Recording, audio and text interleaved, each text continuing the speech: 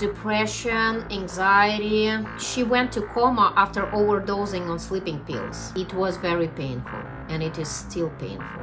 I'm playing that everything is cool, but what do you mean by dolls for big boys? He provides you the best contracts. Going backward, 1992 to 1972, childhood. What was happening at her early childhood? Welcome to Action Explorations.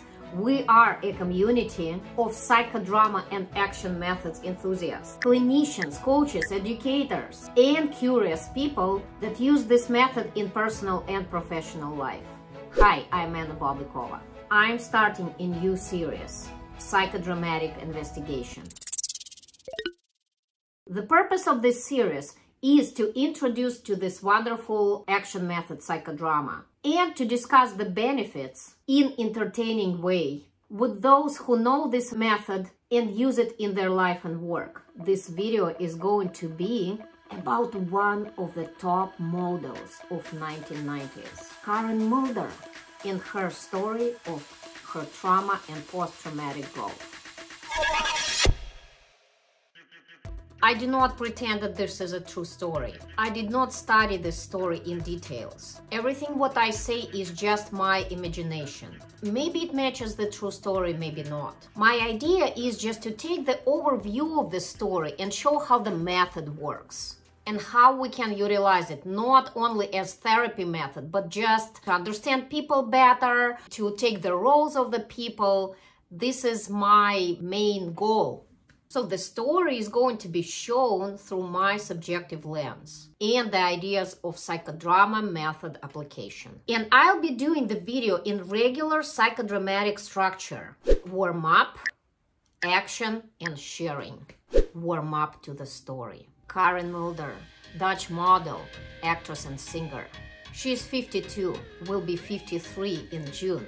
Oh my god, how beautiful is this woman.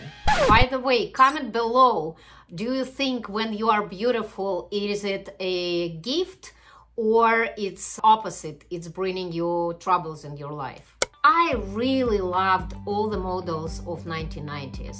There were like about only 10 of them. It was not difficult to keep an eye on them.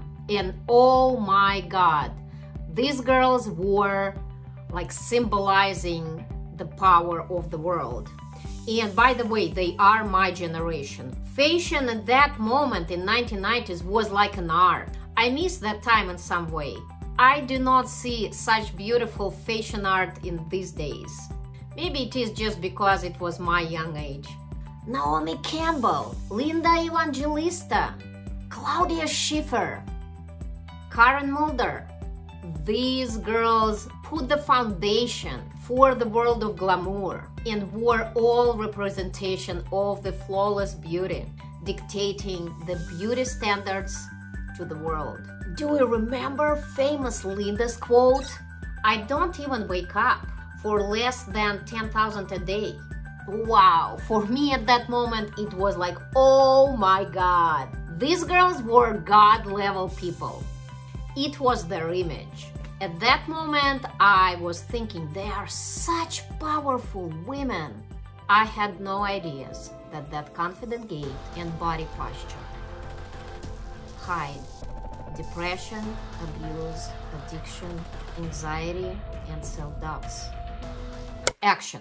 Imagine we are all in one psychodramatic therapeutic group and we are going to listen Karen's story. I'll offer here Karen to double her so what is doubling? This is our first psychodramatic technique. I'll offer her to be her internal voice. And I'll tell her, Karen, may I be your internal voice? If it fits, please repeat it. If it doesn't, please make your own statement that feels right for you. This is Claudia's doll. Mm-hmm. And this is Naomi's doll. Cute.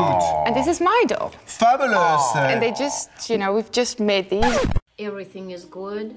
I've done a lot of work. See this doll that represents me?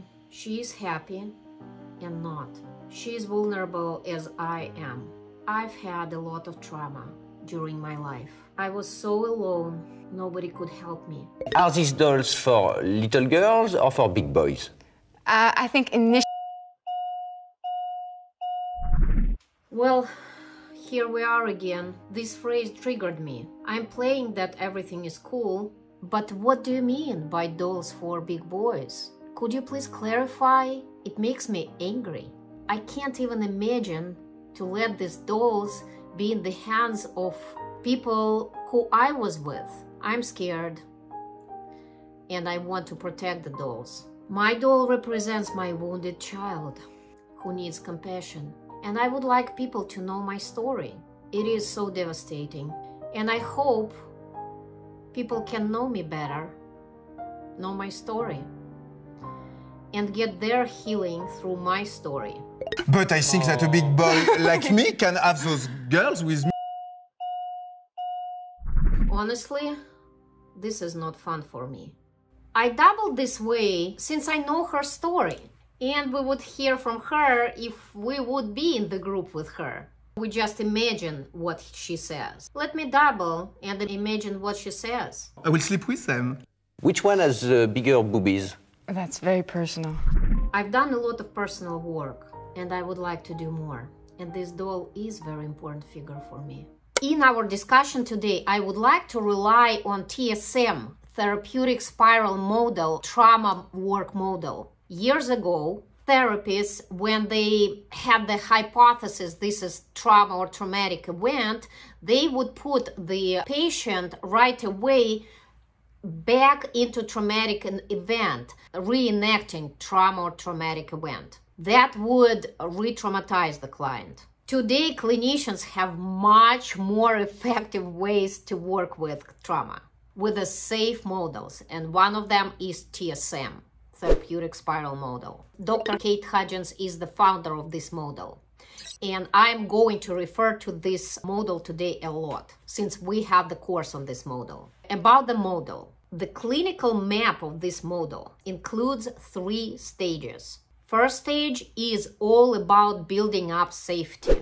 And everyone know today that before working with trauma, the most important for the person to feel safe. And this model uses a lot of prescriptive roles. So first stage is building safety. Second stage is trauma work through trauma triangle roles. And third stage is post-traumatic growth. And they have post-traumatic growth roles. If we would be in the group with Karen, I would prescribe her observing ego role first. This is TSM role. Strengths and doubles, body and containing double. Observing ego role, neutral, non-judgmental role, internal role. And this is one of the key roles in a TSM model. This is one of the first roles which is prescribed to people. The most important, the purpose of this role is create this neutral observer that states what's going on, what's happening today, what's happening right now, non-judgmentally without shaming or blaming. So let me show you. Karen is here. I'm her observing ego. And at the beginning, so we train Karen to be this neutral observer and then she goes into this role and then she goes back into Karen's role in herself and I'm observing ego telling her. So we imagine that Karen was already in observing ego role and now she's listening from me. We do the role reversals. You are almost 53. You've been through a lot of stuff. You are a very strong woman. It looks like you were triggered today again You've done a lot of work and it looks like there is a lot in the future that can be done for you by you. And we roll reverse. As many role reversals as Karen needs to get into the role of observing ego. And usually this is what Kate Hudgins always say, you might spend sessions, months and years to even just establishing this role but it is so important to create this role of non-judgmental voice, internal, non-judgmental, no shaming, no blaming voice. When it is good enough, then Karen can move forward. But this neutral figure is very, it's like cornerstone. It is neutral figure inside internal role is crucial. So then we can introduce Karen to her strengths. It might be done individually or in the group, might be a circle of strengths, personal, interpersonal, or transpersonal strengths. She will need to spend some time in discovering her own personal strengths and feel them because she will need in her future to use them and be like filled in with these strengths. So she would be strong enough. Be with them. Let her be with them. Next role is doubles, body double, containing double. Here is the module on doubling. Also very important roles for establishing safety and feeling confident for the future. Give you an idea, let me be Karen's body double. So the body double is the, the purpose is to make person grounded, be inside the body, be connected with the body right here, right now, inside the body and feel the body. Do not dissociate, do not leave the body. I'm Karen. 52 years old. I'm sitting on the chair right here, right now, and breathing. I can look around. I see the window in front of me.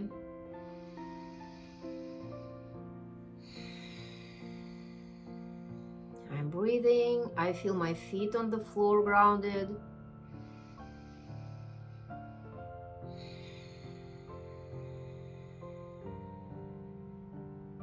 I feel grounded and I am inside my body. Again, building safety for the individual with trauma is the most crucial detail in trauma work and you might spend sessions, months, years on establishing that. You cannot work further without it. It might take years for Karen to build it up, but it's worth it. So in the course, modules 1 to 7, talks specifically about how to build up safety prior working on trauma. And sometimes that's enough. Sometimes you don't even need to move forward. That's already a huge piece of work. So it means on this stage, Karen would receive the prescriptive roles. Crucial roles are autonomous healing center. You can see about that in the course. Observing ego we talked about that strengths internal strengths. Doubles there are different types of doubles. Also in module 8 there is also work with defenses. Briefly about defenses. I didn't feel comfortable going to this show. They invited me a year ago and i agreed i just couldn't say no that's why i told yes i promised and I didn't want to say no because they would think all kinds of stuff about me. So this was a defense. Something what helped her years ago to survive through the trauma doesn't serve her that great today. She cannot say no when obviously she doesn't want to be at this show. So obviously it's my word. I don't know. Looks like it doesn't serve her well, this defense when Karen builds up enough strengths, she might let us know, she might report that she can deal with her pain and other emotions without taking substances, numbing herself. So before working on trauma triangle roles, also a great idea to check up with her through doubling. I've done a lot of work. I'm so happy that I'm alive right now. I could be dead with drugs, eating disorders, trauma that I had, dirty secrets that I carried during my life. How did I survive? I feel strong and confident, confident enough right now to do the further work. I would like to move forward to do the healing work. Let's go back to her story. What do we know about it from the media? In 2002 suicide attempt. After suffering from chronic depression, she went to coma after overdosing on sleeping pills. She left no note, but she was rescued going back 2001 interview for TV show that what was erased. So at this interview, she accused her fashion bosses and famous people from that time on sexual harassment and abuse. She accused her father and a close family friend on being molested from early childhood. The host of this TV show interview told she was in very sensitive psychological state and parents blamed all her troubles on drugs. Then after this TV show was all the TV show was erased, she repeated exactly all the same details at the interview for the magazine. And then she got to psychiatric clinic with diagnosis of depression anxiety and delirium and stayed in the clinic for five months. At the interview she stated they wanted to do prostitute from me. I was pumped with drugs. I'll double for her today i was pumped with drugs it was big black painful hole i was in i didn't see the solution any solution. Nobody could help me. It was very painful, and it is still painful. Though today I can deal with that. During one of the group sessions with Karen, we can offer to do trauma timeline. Fantastic Tian Dayton's method. Please check out interview on the full technique so you can learn how to do that. It's based on floor checks. So Karen today is almost 53. Karen would be going over her timeline. She might need support she might need to hold someone's hand, for instance, the group leader hand. Okay, let's say I'm the, the group leader, so I would be holding her hand and we will be going over that. Okay, today and step backward on the timeline. 2002, suicide attempt. 2001, interview, going backward. 1982 to 1972, childhood. I personally, Anna, have two concerns from this story. In 2001, when she was doing this interview, what made her speak up at that moment? You have to do a lot of internal stamina to do that. Did she have support? I mean, as a human being, like another human being support, therapist, friends, or that was the support was drugs, which made her feeling brave at the moment and then crash. So this is the question. And my second biggest concern is her childhood. What was happening at her household at her early childhood. Working with trauma with therapeutic spiral model, it uses the trauma roles and they are similar to Karpman's drama triangle victim, perpetrator, and rescuer. In TSM, they came up with another roles, and instead of rescuer, there is the role which called abandoning authority. So originally, it is like our internalized roles originally they all are external roles. It's our mother in uh, our father and this is what we internalize. So abandoning authority is the role of the person who was abandoning earlier. Abandoning in the traumatic event usually after the traumatic event and does not help for instance, in case of child abuse, when father is abusing the child and mother acts like nothing is happening and she turns around and acting like nothing is happening, everything is okay, ignoring the needs of the child. Sometimes the child is telling that and mother is ignoring that, acts like nothing is happening. The child internalizes this role and then later this is internal role that is ignoring own self-adult needs. For instance, young woman that is sexually abused by her boss has internal abandoning authority role, originally mother figure, that is ignoring own self needs, ignoring own healthy voices inside. So originally that is mother figure it is important in this work to distinguish this voice and this role of abandoning authority. So, how did it work at that moment, that right now, me personally ignoring my own needs, abandoning my own needs, myself? What do I do as my mother did at that moment, right? That's what is important. He provides you the, the best contracts he cares about you. He loves you. Well, daughter, your father cares about us. He cares about you. He loves you. Your daddy is the best. Look at the dress he bought for you. He loves you. I guess Karen had and have to deal with a lot in her life trauma, eating disorders, substance use, and others. Post traumatic growth is the theory about the growth that is happening because of trauma and after trauma. Internal growth that people tell that they have after trauma only happens with people who have the trauma and they tell that there is some sort of transformation, positive transformation. This theory was developed by Richard Tedeschi and Lawrence Calhoun in the mid of 1990s.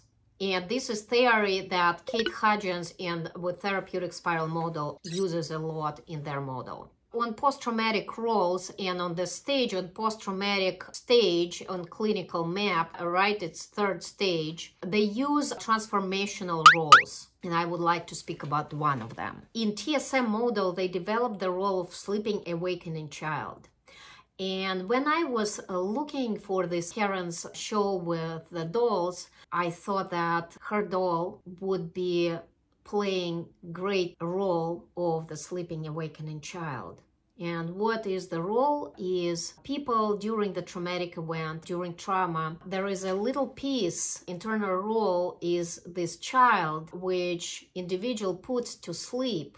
So then later when it is safe enough and good enough, then this child can wake up and look around and start to live again. And it's She's a good. gift for you, my dear Karen. But she has no dress. No, she never wears a dress. Thank you very much. I wish I would be happy. I don't know much about Karen, though I have feeling that she hides a lot behind her smile. I'm not sure she's ready to let her sleeping, awakening child to wake up. I can't prove, but it looks like she's done some work, and there is still a lot to do. Starting from the beginning stage, working on establishing strengths, neutral observer, and other internal supportive roles. I would like to summarize what we spoke about today and what can be used professionally. I show today doubling. It is the heart of psychodrama. It helps client to tune into self. It helps you to understand others better. Doubling makes unclear situation clear right away, specifically for the person you are doubling for. We spoke about therapeutic spiral model three stages of trauma work and clinical map, including prescriptive roles, specifically that roles that are going on the first stage that are prescribed before any touching of the trauma. It's building up strengths, it's building up confidence, it's building up stamina. We've touched a little bit trauma triangle roles and post-traumatic growth roles. Please comment below how is this story related to your story. If you are psychodramatist, please comment from the psychodrama perspective what did you notice. And thank you for watching. Oh, also, guys, please share what people's stories you would like to talk about in the next videos. Thank you so much for watching. Namaste. I just realized that it's going to be on June 1st, Karen's birthday. Happy birthday, Karen. Happy 53.